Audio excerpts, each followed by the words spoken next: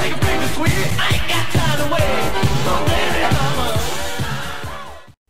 In 2008, long-time Prince photographer Randee St Nicholas was working on putting together the beautiful 21 Nights in London photo book, and she began discussing with Prince the idea of a decade-long collection of photographs that encapsulated a large part of Prince's career.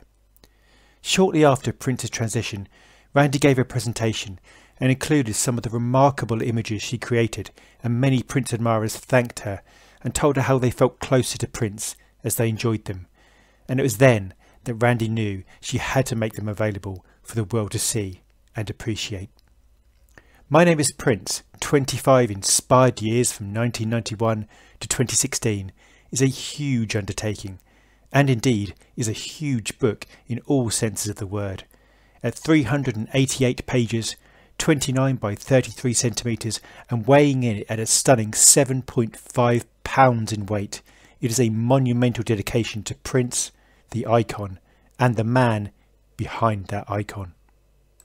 Randee also intersperses these mesmerising photographs with her recollections of working for Prince and essentially following him pretty much everywhere he went, from exiting stadiums and clubs, intimate moments such as catching Prince shaving or asleep, and so much more.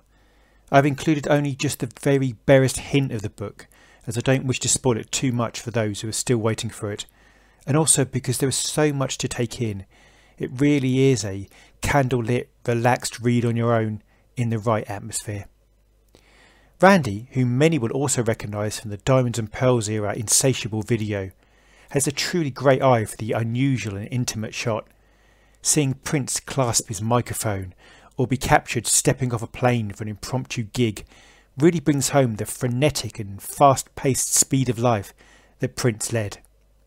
The book is divided into discrete chapters of the experiences that Randee and Prince shared, with titles such as Rehearsal at Paisley Park, New York 1993, London 2007, Coachella, My Name is Prince video, and so much more.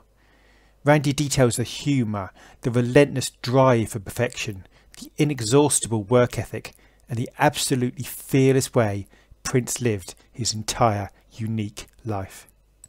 This is very much a book that you will return to countless times, and there are a number of moments when you just end up staring at a particular image for a prolonged period of time, just imagining Prince at that moment, what he was thinking, the conversation Randee and Prince were having, the energy that Prince had just swirl around him.